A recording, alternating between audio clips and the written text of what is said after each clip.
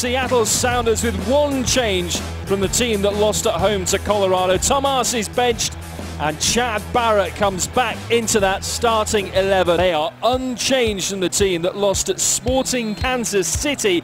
Look out for the speed of Duka and Oduro and the dribble. The aggregate defeat, but it meant they've now got a fixture pile up. Rose tries to get on the end of this.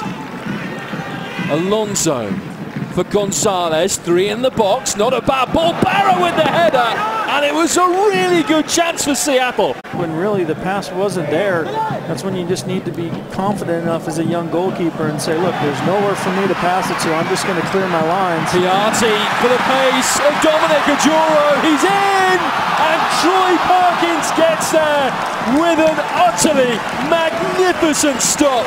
Montreal did a good job of just relieving the pressure from their own half, and you see Piatti drawing two, three players, and Oduro just finding the space, and Troy Perkins does a great job of standing up. Zach Scott working hard to get back to narrow the angle, but really give Troy Perkins all kind of credit. He comes up with the big save when the team needs him. Nice deflection, but again, Piatti gaining possession in dangerous areas. Running at Freeberg this time. So elegant on the ball. Down the throat of Troy Perkins. Goes wide of everyone. Dominic Oduro. Now Montreal trying to build with their speed. It's Dilly Duka, the former Chicago fireman. Twisting and turning and firing. And not missing by much. They are racking up the chances. Found a way to stay in this match. Now they have Chad Barrett on the front foot. And here's a great chance. And Lamar Neagle knows he could well have put Seattle in the lead. What an opportunity for the former Montreal man. Well, it was Barrett early in the match that had the, the header from a good area. And this time it's Barrett is the provider. Good run coming from a wide position from Lamar Neagle, getting to that near post. and McInerney, and again, Ozzy Alonso is like the midfield general, but he's giving it away to Piatti. This is a chance.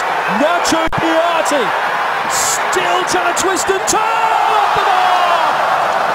And Seattle escape. Nacho Piatti was inches away from making it four goals in five games. Well, maybe that's the change of luck that the Sounders have needed. Ozzy Alonso does everything right. He works so hard to get back and win possession, then just a poor clearance gives Piatti this opportunity. Cuts back on his left foot. What an elegant little chip to the far post. And the width of the crossbar denying Montreal the lead. And in for Calum Mallace. It's Donadel's ball. Ciman! Could he headed home. Another late winner against Seattle. A controversially won free kick. No bones about the header. It is hard, hard, hard on the Sounders.